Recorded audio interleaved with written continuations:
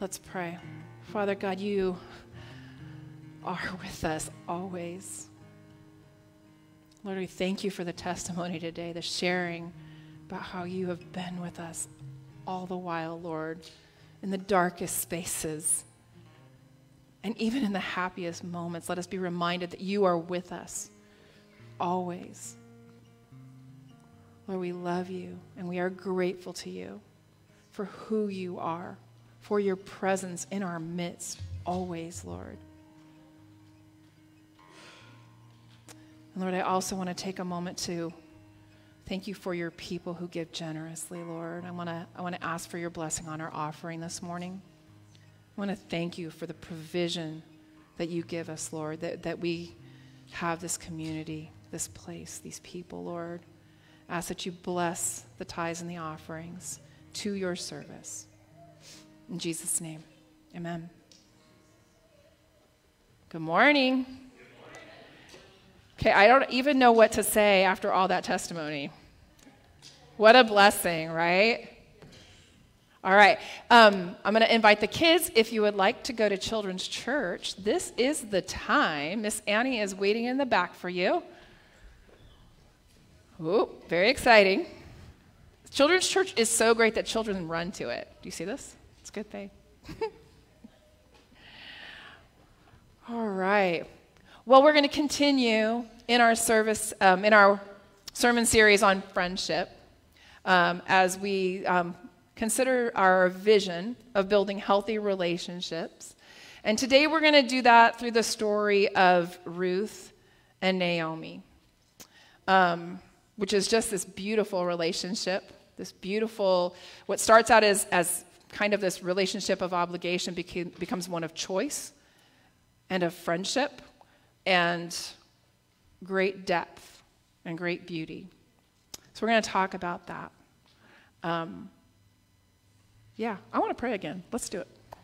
Father God, we just want to pray for the message, and we want to pray that um, that you would be served through it, Lord. That you would open our hearts and our minds to what you would have us know Lord, that you would guide the words and the message, um, and that you would shape us to be more like you every single day. In Jesus' name, amen. All right. Have any of you ever said this phrase to a friend? You can count on me. Right? Or you've maybe heard somebody say that to you, right? You can count on me. I think we have had that conversation. Yeah. And it's kind of this thing that people have been saying for a really long time. Like, I actually researched it because I'm weird like that, but it said, like, since the 1200s, people have been saying this phrase, you can count on me. I know, I was like, is this kind of some new colloquialism? But no, no, no. It's very old. We've been saying it a really long time.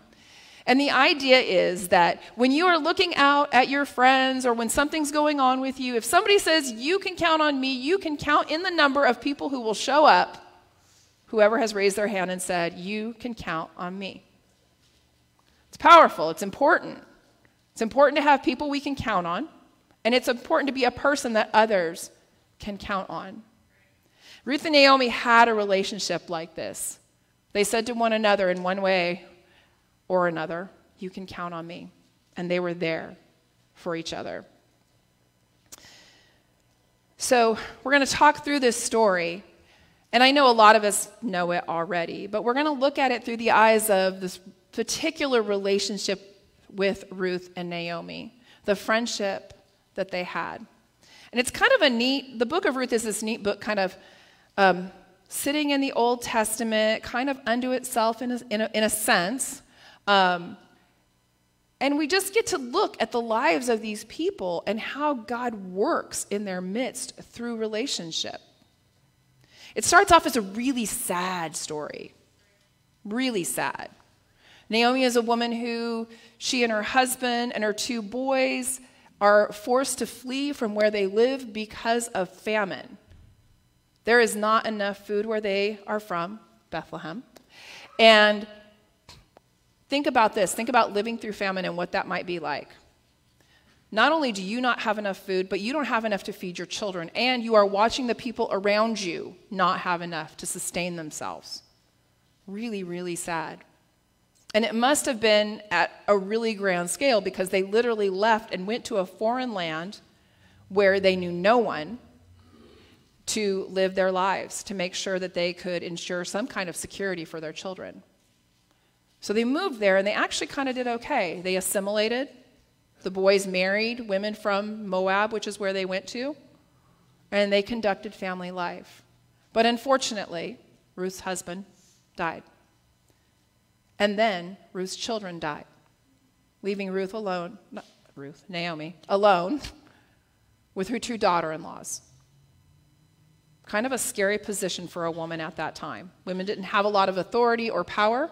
And so here she is, a woman with her two daughter in laws, trying to figure out what to do. Well, she learns that things are better in her homeland, and so she can go back, and, and there's no longer famine. And she packs up the girls and says, Come on, guys, we're going. And they start their trip. But her conscience won't allow her to follow through with that. She worries about these girls. She's grown to love them. They are her daughter in laws, and she thought she was going to live a long life with them. And she knows that there is an uncertain future returning back to their land because her husband's gone. It's just her as the head of the family at this point. And she knows that the girls, it's going to be uncertain for them there. And she, out of great love for them, says, Go home, go back to your parents. You'll be safe there, you'll be fed, you'll be with people who love you. But the women don't want to go, they want to stay with her. And eventually, the oldest, I mean, the um, wife of the oldest son does return. She goes back to Moab. But Ruth, who is her other daughter in law, refuses.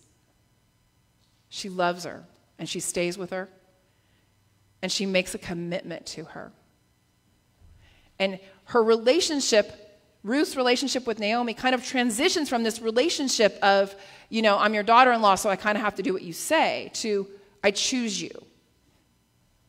I choose this relationship. It's not just some kind of an obligation, right? But Ruth takes it to a different level and says, No, I choose you. I choose this relationship. I choose this friendship. And so, what was, what was once obligation is now choice. Um, so, let me find the passage. In Ruth um, 1 16 through 17, when Naomi has urged Ruth to return, Ruth replies, Don't urge me to abandon you, to turn back from following after you. Wherever you go, I will go, and wherever you stay, I will stay. Your people will be my people, and your God will be my God. Wherever you die, I will die, and there I will be buried. May the Lord do this to me, and more so, if even death separates me from you. Ruth committed her life to Naomi's we will likely never be in this kind of a situation. But friendship takes commitment, right? We got to say, you can count on me. I'll be there, and we have to mean it.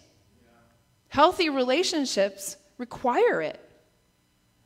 If you say you can count on me and you don't show up, it's terrifying for your friends, right? And if somebody says you can count on me to you and they're not there when you need them, is that a healthy friendship? No. And it's hard. It's hard to commit to, to ask people to count on you and to always be there. But it's what a healthy relationship does. We think about how this story kind of shows us what, you know, we, we talked a lot today about how God shows up for us, right?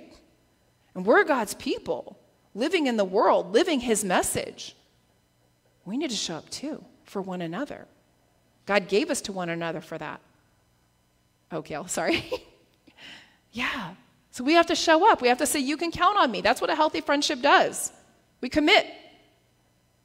We commit. And I'm going to tell you this commi- commitment, it will inconvenience us. Right? It will mean that sometimes we have to do things we don't want to do. Sometimes we will have to set aside our own plans in favor of taking care of somebody else because we need to show up. Showing up means everything. So, friendship is showing up, friendship is being committed. It's also sacrifice and being selfless. And we see this in the relationship between Ruth and Naomi. Naomi was willing to sacrifice so that Ruth could go back and have a good life, right? So that she would be protected and loved and cared for with her family, whatever that might mean. At least it was something that was kind of known as opposed to taking her with her back, right? She didn't want this uncertain situation. Additionally, this trip was not probably an extremely safe one. And think about like when Naomi said to Ruth, Go, Naomi literally was making the choice to like send her for her good. And then Naomi was off by herself, alone, with nobody to count on. But she was willing to live that way for the betterment of Ruth. She was selfless. Fortunately for her, though, Ruth was selfless as well. And Ruth was willing to give up what could be security for what might be in the future to tell Naomi, you can count on me. This relationship is important. You're my priority. I'm going to be there. And they made it. They made it to Bethlehem. And when they get there, they have the issue of how are they going to eat? Right? Because they don't, they don't have like crops that they've been taking care of. They don't have you know, maybe there's a home there to go back to or something, but, but there's not much. There are no sons to work land. There are just these two women, one of whom's a little bit older at this point. So Ruth does what she can. She goes out to the fields and she does something called gleaning, which means she walks behind the harvesters and picks up the little pieces that can be gathered of the wheat. And she doesn't just gather for herself, she gathers enough so that both she and Naomi can eat so that they can have sustenance. She takes upon that herself for Naomi. And I think about what a difficult thing this must have been. This whole back breaking, you know, leaned over all day long, picking up little tiny things um, just to be able to eat. But she made this sacrifice. She was selfless in her friendship.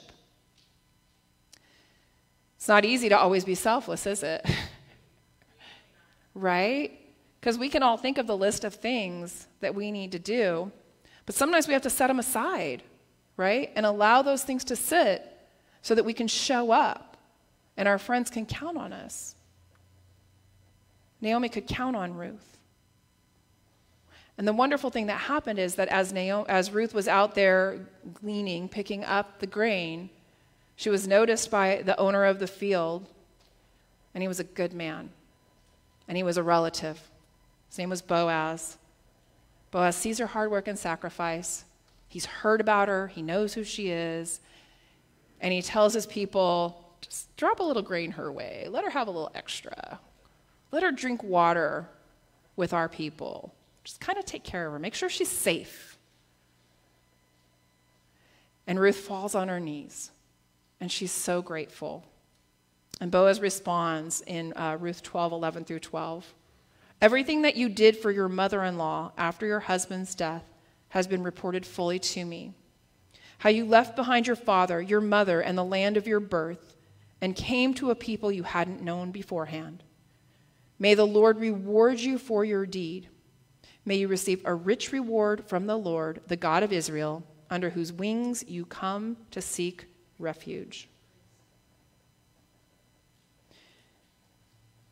Ruth was selfless right? Healthy relationships have to be selfless. We have to give of ourselves for the betterment of others. And I think about this, I think like Naomi, Ruth could have watched her starve, right? It was a choice she could have made. She could have decided she was just going to take care of herself. But how do you live with yourself when your friend is suffering? How do you do that? It's not easy, right? If we, you know, if as God's people, we care. We care about what's going on with others. So in healthy relationships, when we see a brother or sister suffer, we show up. We take care of them. We see this in Ruth. We see that she did this. And it becomes a wonderful thing, this relationship between these two women, taking care of one another. So that when Naomi has a chance to take care of Ruth, because Naomi's a little more savvy than Ruth, she figures out a way to kind of ensure a future for Ruth because she doesn't want her to just have to go and pick green every day. She wants more for her because she loves her, because she wants to show up for her. So Naomi hatches a plan. After Ruth has been out there gleaning in the fields for a while, all the wheat's gone, all the barley's gone. She hatches this plan to set up Ruth for marriage. She says, Clean up, go over to where the men are, are dealing with the grain, the threshing floor. Go over there and watch what's going on. And when things quiet down at night, when the work is done and they've all eaten and they've fallen asleep, go over and lay down next to Boaz. Now, this is risky behavior, right? I'm pretty sure it wasn't okay with everybody if a woman moved into an area where all the men were working while they were asleep and laid down next to a man. In fact, well, huh? Well, there's a lot of discussion about what actually went on there, but we're, hmm, we're going to keep it G today. Um, let's just say, huh? Well, and it didn't end up scandalous, is what the good thing is, right? The appearance was definitely scandalous. However, Boaz knowing I believe, knowing the character of, of Ruth, having spent a lot of time watching her caring for her mother in law. And even this last passage we read that tells us what he was thinking of her, he took it as it was intended, and he was incredibly complimented. So, you know, it's really kind of a great thing that, that Naomi was actually looking at the long term for Ruth, kind of wanting to see that she would have a good life. This didn't really necessarily ensure anything specifically for Naomi. I mean, Ruth could have just at some point said, "Okay, hey, thanks. Glad you glad you like sent me over to this guy and he's going to be my husband. See ya." It's not what happens though. Boaz works it out. It's a long story, but he works it out so that they are eventually married and they have a child. And it ends up being just this wonderful blessing for Naomi. Because Naomi and Ruth, well, they are family now, right? They've lived this life together. They've shown up for one another. They love each other. And the women rejoice with Naomi after the birth of Ruth's son, Obed. And this is what they say May the Lord be blessed, who today hasn't left you without a redeemer. May his name be proclaimed in Israel. He will restore your life and sustain you in your old age. Your daughter in law, who loves you, has given birth to him. She's better for you than seven sons. It's saying a lot. Naomi took the child and held him to her breast, and she became his guardian. The neighborhood women gave him a name, saying, A son has been born to Naomi. They called his name Obed. He became Jesse's father and David's grandfather extraordinary friendship. It redeemed Naomi's life, it redeemed Ruth's life. It's a beautiful thing.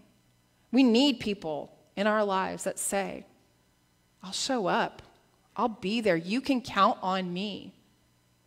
It'll change our lives, and we need to be the people that are those ones that stand up and say, You can count on me. Because we know who we are as a saved people, right? We know that God says time and time again, you can count on me. And we are called as his witness to live that out in the world.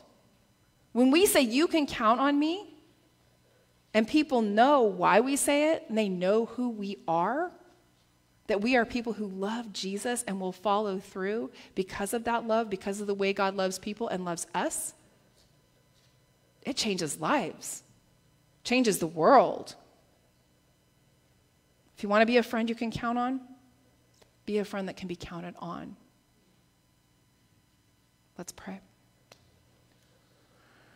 Lord God, you are so good for us. You are always, always there when we need you, even though we don't always see it, Lord. Even though we're not always paying attention, you are there. You love us. We can always count on you. Help us to remember that. And help us to be people that can be counted on. Help us to be people that are committed to one another in friendship, that are selfless and sacrificing and loyal and trusting. Help us to take to heart the beautiful thing that you did through the relationship of Ruth and Naomi. In Jesus' name, amen.